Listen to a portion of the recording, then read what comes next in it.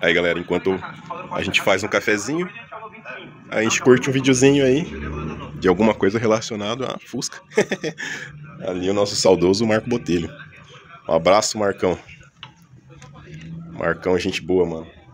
Troquei ideia com ele já. Pensa num cara gente fina.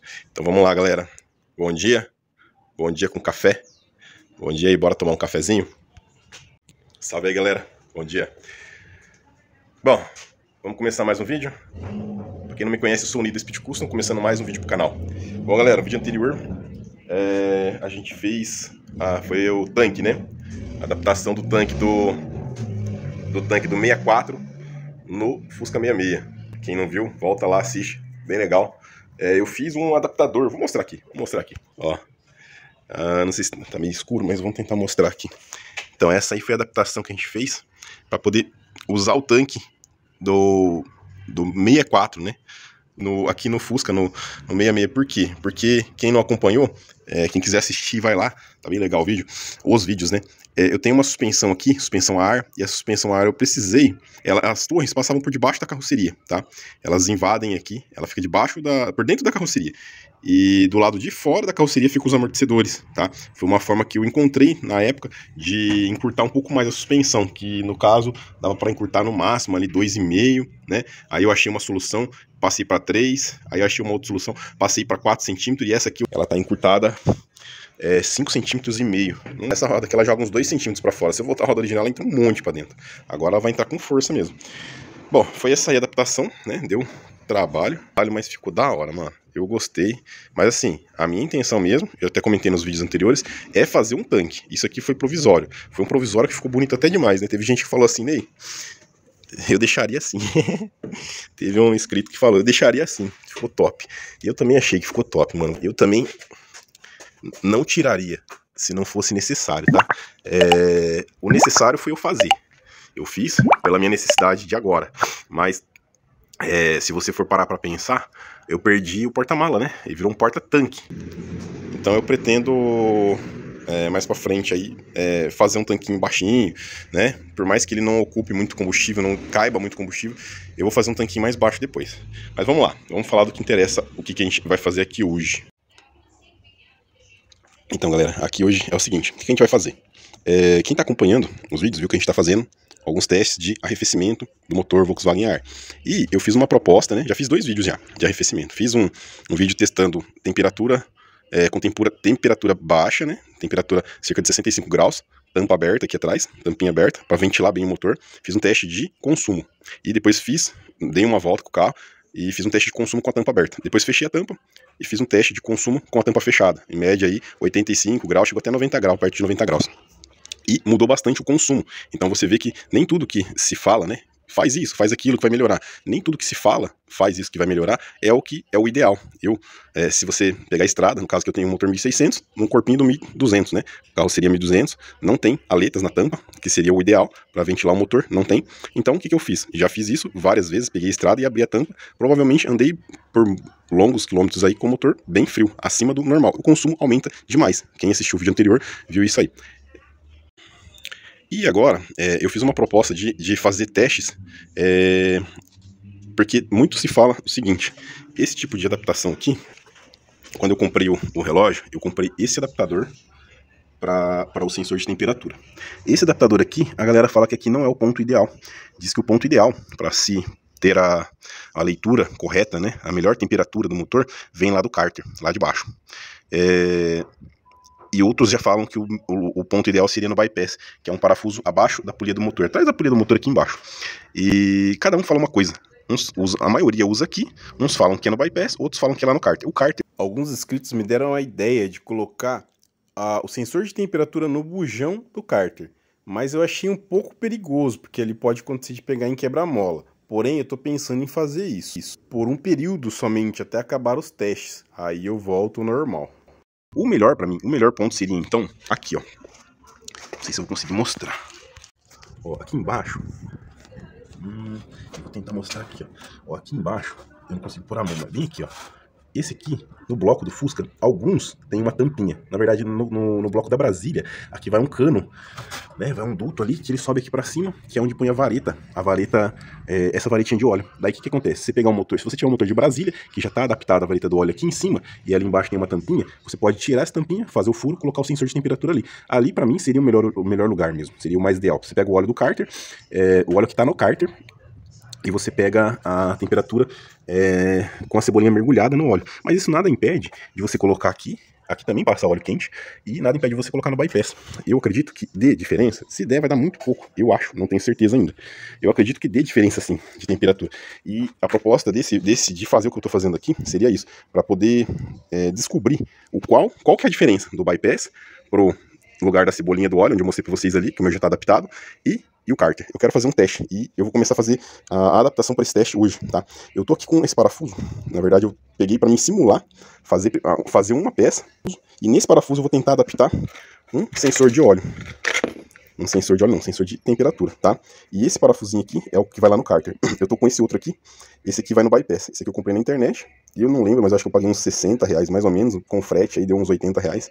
E aí eu tô querendo fazer isso aqui, porque eu procurei isso aqui pra comprar, pra adaptar isso aqui eu não achei. Eu só achei esse aqui, esse aqui não serve aqui. Até me falaram, ah, nem pega o do bypass e adapta. Não, ele não serve, galera, ó. Ele, a rosca, o tamanho da rosca é diferente. A não ser que eu pegue uma tampa dessa aqui e aumente esse furo aqui e faça rosca. Mas assim, para mim tá mais fácil fazer isso, ó. Pegar um bujão do Fusca mesmo, e fazer a adaptação no bujão, tá? Eu vou fazer o teste com esse parafuso.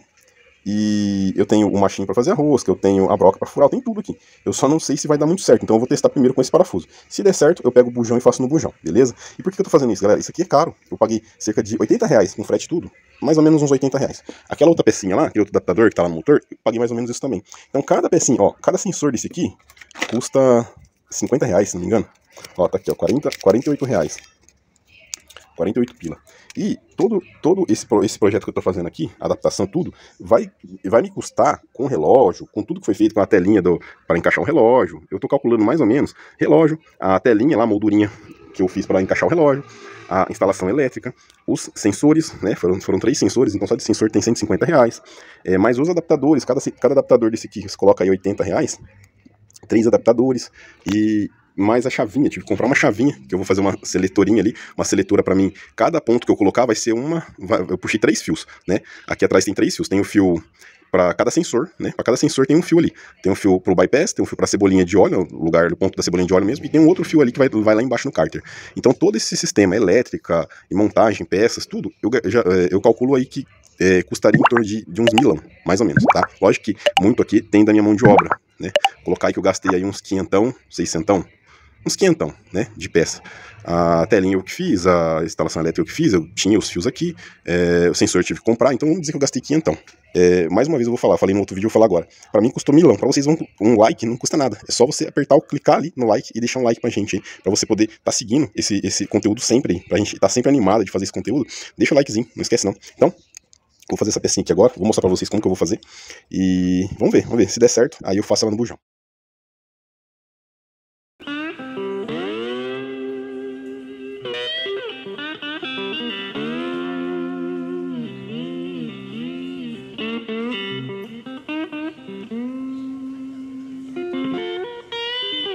Música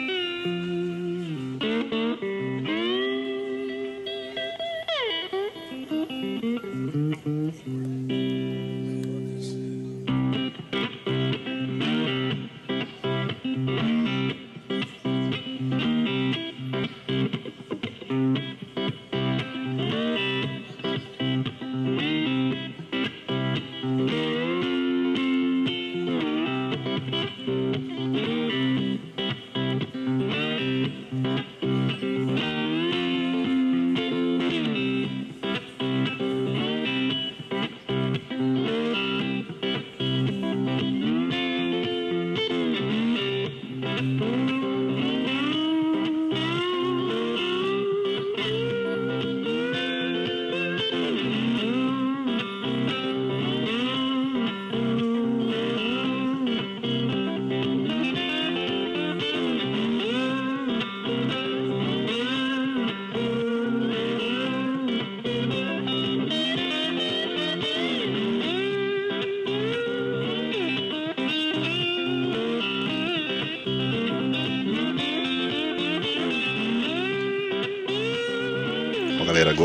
Que, eu fiz. Aqui na, na mesa da minha furadeira de bancada, eu coloquei, prendi o parafuso, apertei com a porca por baixo, né?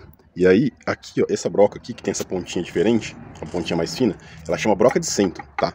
Não tem, assim, tanta diferença essa broca para uma broca normal, mas, assim, a, ela é mais, ela, ela, se eu pegar uma broquinha fina e colocar aqui, ela pode entortar um pouquinho para um lado e para o outro. Essa broca não, ela é uma pontinha fina, porém o restante dela é mais grosso, então ela, ela não corre o risco de entortar. Então eu vou usar essa broca que eu acho que ela, eu julgo ela ser o mais ideal para mim fazer serviço aqui agora, tá? Poderia fazer com uma outra broca? Poderia. Dá para fazer? Dá. Mas assim, essa aqui o risco de entortar é menor, de, de sair um pouquinho fora é, do, do, centro é menor. Então, centralizado aqui, agora eu vou, vou, vou fazer o, o, início do furo aqui. Depois eu posso até trocar de broca. Então, bora.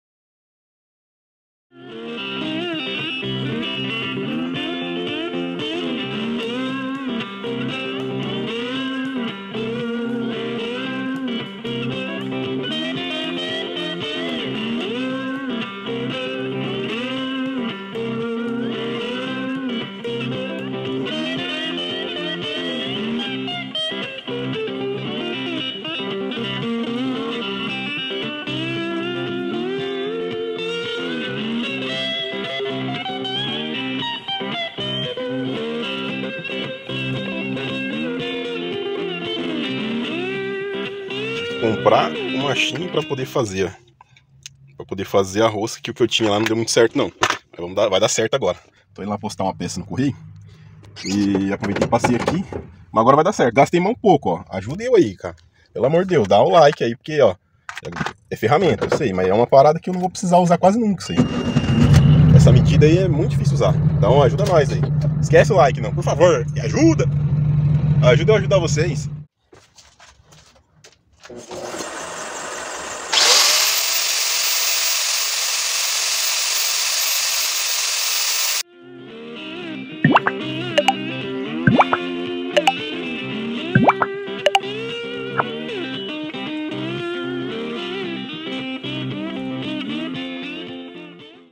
Já marquei, ó, já bate o pulsão.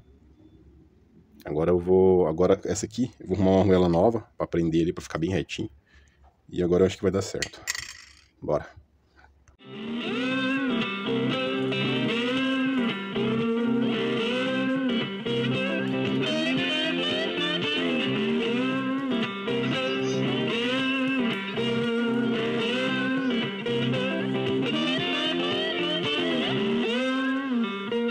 Então tá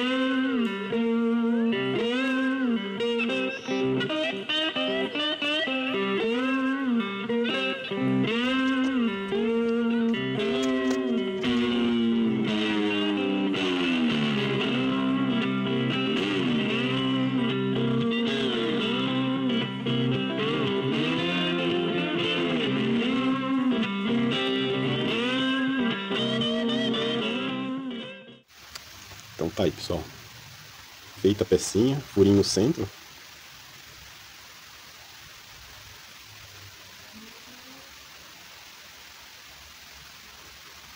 Agora é só a gente colocar lá no...